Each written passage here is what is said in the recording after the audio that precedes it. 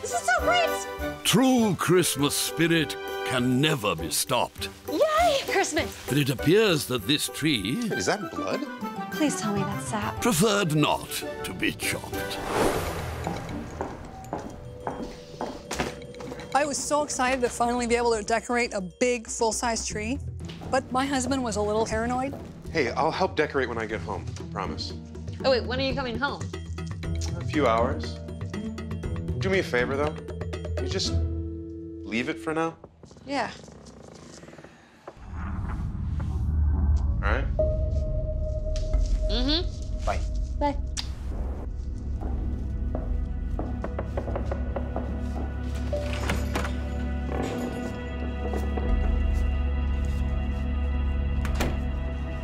I know we agreed we put it up later together, but I couldn't wait. I thought I would surprise him and put the tree up myself.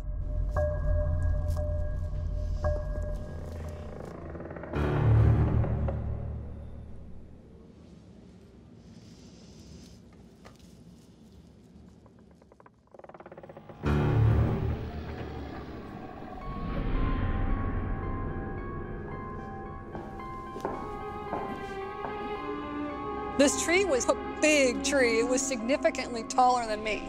I knew it would be a bit of a struggle, but I wanted to put this tree up and I wanted it up right then. It was nearly impossible for me to get that tree into the stand by myself. I'm pretty strong, but that tree was fighting against me. Just get over here! It's so pretty! Getting the tree into the stand was not working. But thankfully, I had an idea to stick the stand on while it was sideways on the floor, then stand it up. The tree was fresh, so it was a very strong tree. It had a strong trunk, so it was really a challenge to get the bolts screwed on right.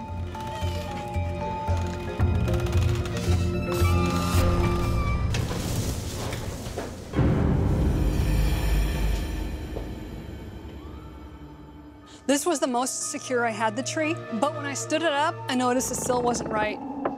So I got a step ladder to make adjustments.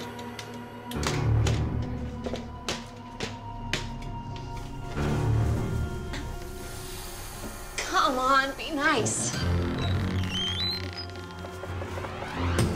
You're gonna look so nice if you just. Ah!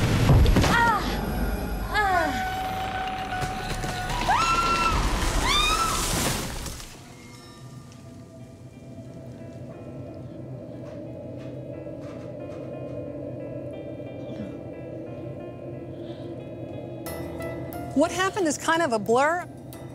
I remember falling, but it's kind of hazy. When I first looked over, I saw a little puddle on the floor, and I knew it wasn't sap.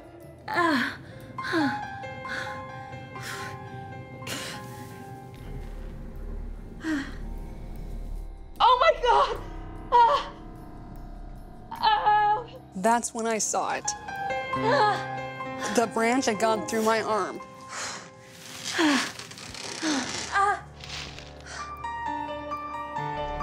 It took me a moment to realize what was going on.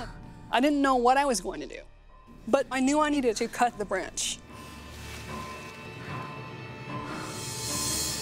I had to get those scissors. Yeah. So I needed to take the tree across the living room to save myself.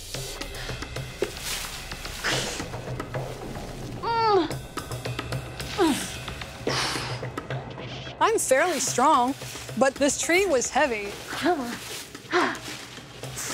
Let's go. Come on. When you're impaled with any object, it is important to leave it in place because if you injure an artery pulling something out, that can be very lethal for someone. Come on.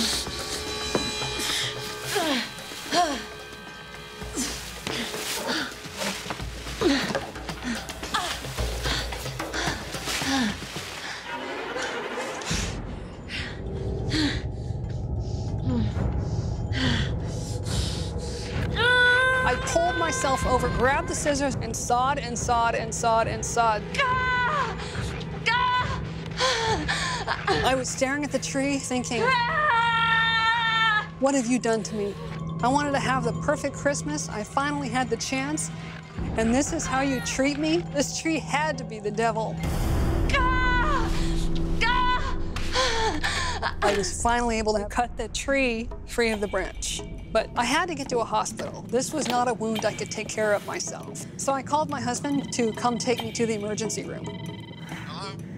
Jim. Hey, can I call you back? Hey, no, I need your help. What, what's wrong? Yeah, something happened. Emily. I, uh. Emily. Emily. Just gonna turn it back to the front, okay? You're doing great. You're gonna be okay, baby. I promise you. You're a soldier. You can do this. All right? Squeeze my hand. You're all right. Mm-hmm. The doctor had never seen an injury like this. I had the branch and pine needles fighting for space in my arm. But the doctor said I was pretty lucky because the branch missed an artery and I didn't bleed all over the place.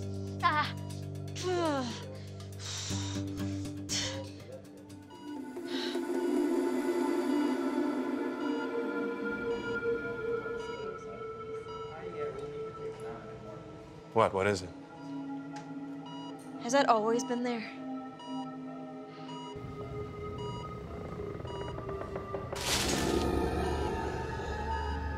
Be very careful around your Christmas tree. You never know what may happen.